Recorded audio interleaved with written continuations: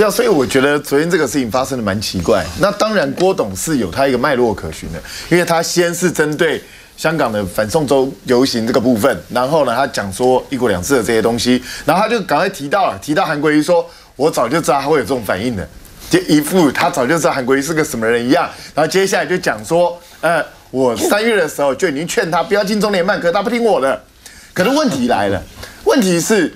我们都知道，因为他们两个这么重要的人物见面，媒体一定会在旁边的。你想要隐藏起来，私底下见面都不太可能的一件事情。所以呢，两次嘛，第一次是到高雄签农产 MOU 的时候，当时我看连韩国瑜自己都不知道自己会进中联办，所以他不可能跟他讲这件事情嘛。那所以如果有讲，就第二次嘛。那第二次在香港，又是你也在啊。对啊，我。而且我跟你讲，这个。你们在，他们会面很秘密啦。是，可是如果有的话，应该会传出来了。我跟你讲，你们在还是郭董自己认证的，你知道吗？嗯。因为郭董自己都讲说，当时本来他是要求说没有任何媒体在，嗯。结果呢，他一去的时候，就韩国瑜这边的人跟他讲，不好意思，还是被你们中天混进去。嗯。所以你们确实是在现场，他知道，他自己都都讲过这件事情。那对不起，对，这边刚我下个话，那因为我在嘛哈，我知道当时的状况。依照这个郭董的指控，他是觉得说好像。我们的记者跟中联办有什么往来？所以呢，哎，中联办只是中天进去让消息曝光，但我不能告诉你是谁讲的。可是跟中国大陆一点关系都没有。是，那就是我们的记者很认真，东问西问，东问西问，去问到了讯息，自己都出来的，跟所谓中国时报还是中天跟什么谁谁谁怎样，还要放水让我们进去拍，一点关系都没有，因为我们进去了。高雄市政府当时还很不高兴，就是说，哎，这消息怎么会放出来？好，特此澄清，哦，无关任何的这个互相攻击。我想我自己也是记者出身，我们记者各自有自己的管道，我们会想尽办法打探一些消息，想办法去。我觉得这是各凭本事的事情。那但是不要随意去揣测人家的消息来源是什么。那因为这个东西记者也没有办法直接说明给你，因为我说了，你大概也不见得会懂。吴子嘉说保护消息来源 是。那但是我觉得最重要来了，现在就是郭董说有，韩国瑜说没有，那谁说的对？你知道，当然有每个人各自解读，有的人就相信郭台铭，有的人就相信韩国瑜。那问题来了，谁有人证？韩国瑜有人证哦，对哦，韩国瑜是有人证哦。那本来两个人，假设这两个人讲话分量一比一，那有人证这个分量是不是应该比较高一点？嗯，那郭董至少是没人证的嘛。那第三个就是郭董那个时候为什么会要劝他不进中联办？他为什么会讲这句话？他假设他真的讲过的话，他为什么要讲这句话？其实这个很奇怪，我是为着你好，是啊，因为为着我下面好，因为我甚至你要知道，韩国瑜据我们所知，他要去中联办其实是一个很临时的决定，嗯，他甚至事前他他要去香港之前，他自己都不太清楚他自己要不要去中联办，结果后来决定要去，那所以一个连他自己都不是那么就是那么确认的事情，你觉得他会主动去跟郭台铭提说，我等下去中联办，你要不要给我点意见？他会这样讲吗？而且他如果要。讨论就是希望有人给他意见，关于去中联办，他怎样也不会想要去问郭台铭。是这个是很奇怪的一件事情。我要问我的幕僚去问郭台铭干什么呢？对，不是很怪。那另外一种可能就是郭台铭有他的管道，他事先得知中联办已经准备要跟那个韩国瑜见面了，所以他来劝他。哦，那郭台铭跟中联办比较好。是，那是不是郭台铭自己跟中联办有其他的管道？这个我们就不知道。但是不管怎么样，以目前的证据来看的话，就是没有人能够证明郭台铭讲的是对。嗯哼。我也不敢说他讲的一定是错的，也许他们私底下讲，但但是韩国瑜说没有，韩国瑜的其他在现场人也都说没有，那我们要怎么去证明郭台铭是对的呢？嗯，但是我必须说，其实对不对，对郭台铭来讲一点都不重要，因为郭董真正要创造一个什么话题，你知道？他要创造第一个，你看我反我反中国大陆比你强，嗯，然后第二个呢，我高瞻远瞩，我早就已经预料到所有的事情，什么事情会发生，你韩国瑜都料不到。那这个是在干什么？这讲的当然不是给蓝军的支持者听的，他讲的是给中间选民跟前绿听的。就是我在深蓝这一块，或者甚至在浅蓝这一块，我可能抢不赢你韩国瑜，但没关系，我就抢中间选民跟绿的。因为这一次这个香港这个游行，其实很多中间选民是有感觉的，那甚至一些绿营的，当然真的大力鼓吹这件事情。那只要郭台铭讲这些，哦，那蓝军至少有一个，有一个是跟我们站在一起的哦，他这就可以去拿到这方面的民调。对他来讲是有利的，因为郭台铭讲几句话，他们就支持郭台铭，那这些民智商没多高。那你错了，右正不是他支持郭台铭，他支持国民党推郭台铭。这是两回事，这是两回事。他在最后一月十一号选举的时候，他不会投郭台铭的。可是我希望你国民党是这个人出来，你懂我的意思吗？所以这是完全不一样的东西耶。那郭台铭要的就是他初选都过不了关，他怎么去选大选呢？所以对他来讲，这个策略是对的哦。嗯，他先先在初选这个阶段，我吸引中间跟泛绿选民的支持，你赢了初选之后，剩下的再说嘛。所以呢，我必须说，郭董的这一招。基本上是成功了，但未来的发展就看他怎么去继续去执行了。真的哈，大家要团结啦！你看，在外面陈局留下来的人，到现在还在卡韩国瑜，而且这是蛮大的卡，因为这关系到五千亿的开发啊，五千亿可以还高雄钱的开发啊。好，针对呢这个所谓土开公司被民进党中央给奇袭，差一点整晚被。民进党给拿走卡住韩国瑜的这件事，韩国有告诉你说，中央派董事长、高雄市政府派总经理，如果交通部想打破，那高雄市政府必须表达立场，我们要照顾高雄市民的利益，这方面我们是不会让步的。好了，说到土地开发公司，你马上想到的就是五月的时候，不是本来要找一个陈建腾。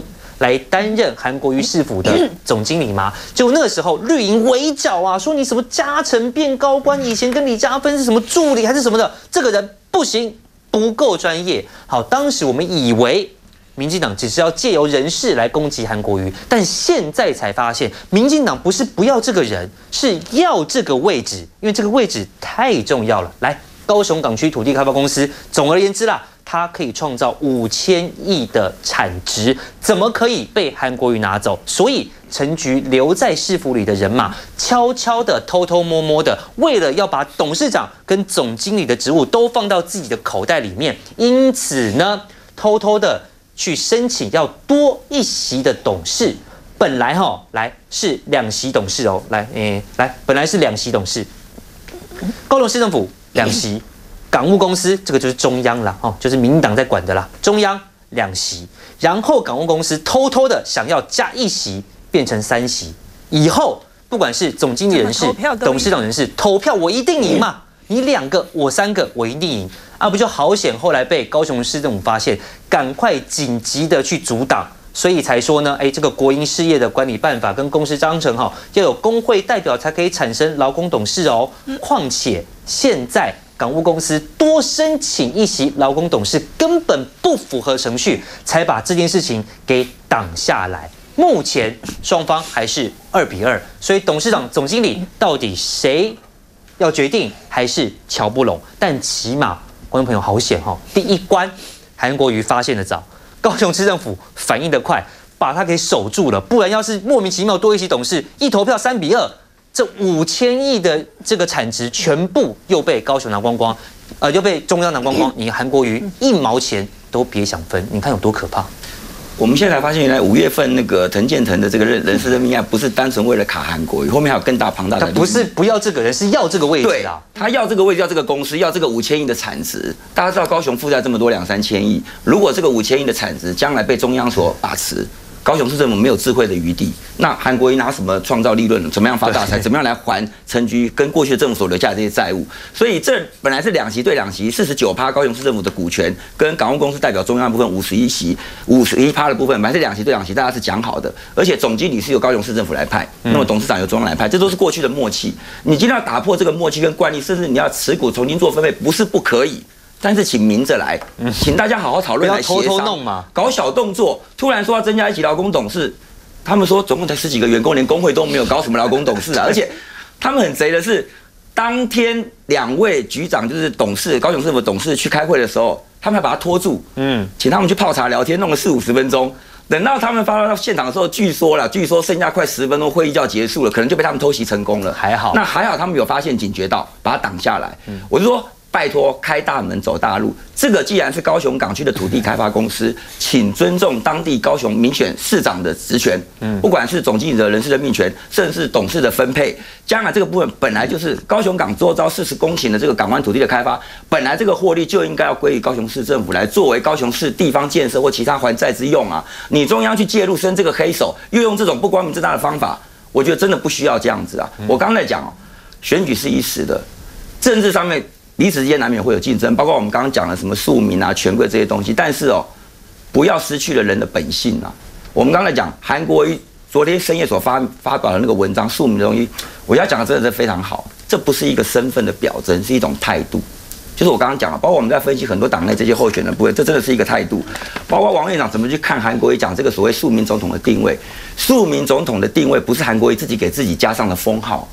是从去年九合一大选一直以来，大家认为韩国瑜的接地气，以及他展现的风格，以及对我们刚刚讲的三中一清以及这些弱势的族群，世上苦人多，他有同理心，他愿意为这些人来发声，然后让很多的韩粉跟支持者深受感动，所以才有所谓庶民总统这样的一个称号，并不是硬加上去的。如果说民众没有同感的话，你给他戴上任何美丽的桂冠都是没有用的，因为大家无感嘛。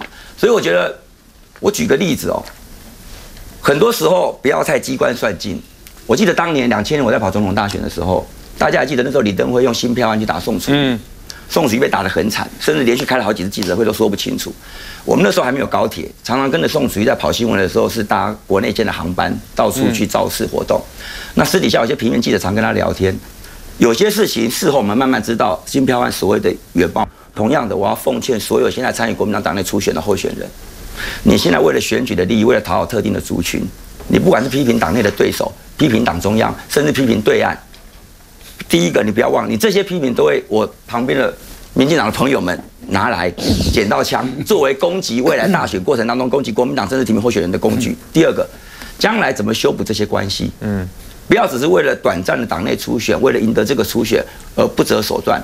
我觉得最重要的是要本于人性，要讲你真正心中的信念。就像韩国在讲庶民这件事情一样，不要用那种奇怪的眼光，像委员长说：“哎呀，你在制造对立。”韩国一通篇的言论都在促进所谓这个庶民跟权贵各有各的价值，各有各的重要的。只是因为过去权贵比较被重视，庶民比较被忽视，他希望扮演一个庶民总统的角色来弥补这部分的不足。所以我希望大家用平常心，不要为了一时的选举而失去了应该有的人格。真的不要偷偷摸摸。你可能很好奇哦，哎，那既然高雄市政府两席，那就好好弄他两席。那如果说你两席啊，中央两席过去都这样对抗的话，那这个董事长跟总经理过去怎么来的？李拱哦啊，过去高雄市政府啊就是中央的嘛，就是成局的嘛。所以过去这四席董事基本上就是龙嘎吉郎，哎，我想干嘛我就干嘛，我想要谁我就要谁，我想把这个钱怎么分我就怎么分。但是高雄市政府现在换人当家了嘛？换韩国瑜了嘛，所以我不会把这两席董事放任给你民进党胡搞瞎搞嘛。来，民进党两席就是郭天贵还有沈妙姿，他也是现在的代理总经理了哈，通通都是陈菊花妈的人。好，这都是在陈菊任内找来的港务公司总经理等等的。好，这两席现在卡在港务公司要来对付高雄市政府，所以偷偷摸摸多一席，真的哈还好被挡住了，否则。各位，这五千亿就通通被中央拿光光，高雄市政府就没有了。因为董事长、总经理都是我的人，你怎么跟我玩呢？你啊？民进党已经输了选举，啊，输了高雄的选举，其实是高雄市民，他用他的投票行为，用他的决定告诉民进党说：你在民进，你在高雄执政二十年，你把高雄经营的负债累累，三千多亿。你把高雄经营的啊，这个经济一直每况愈下，高雄人口一直在减少，然后我们的生活出现这样的那样的困难，我们的公共基础建设出现这样的问题那样的问题，所以才会有所谓的五千条道路都是破洞的这样的一个问题。所以高雄市民在这一次的选举中，他已经很明白的告诉了这个民进党，说我不同意。你这样做，我已经不再信任你了。所以，民进党推出来的候选人陈其迈，他本身就没有办法得到高雄人的信任。这个就是我们在选举中所观察到的，就是他高雄市民不再信任民进党所推出来的陈其迈。那韩国瑜赢了，韩国瑜赢了，韩国瑜在为高雄市民打拼的时候，我觉得民进党政府。不能够再继续这样子堕落下去，这就是为什么我刚，呃，用的不好的词，这一点我修正。但是我觉得民进党不应该继续堕落下去。为什么说民进党不应该继续堕落下去？以前马英九也执政过嘛，马英九执政的八年，那那个时候是民进党在当高雄市的市长，所以是一个平衡，也就是中央派的董事长。地方政府派的总经理都是这样的一个平衡，所以不同的政党执政的时候，高雄的港务的开发公司，那么形成了这样的一个有效的平衡，也形成一个有效的监督，因为避免它腐败，避免它腐化，这也不是一个不好的办法。但是当民进党重新起来了以后，那中央是民进党的，派了两席的董事，然后这个地方政府那就以陈菊跟蔡英文的关系，我相信这些人事陈局是完全可以主导的。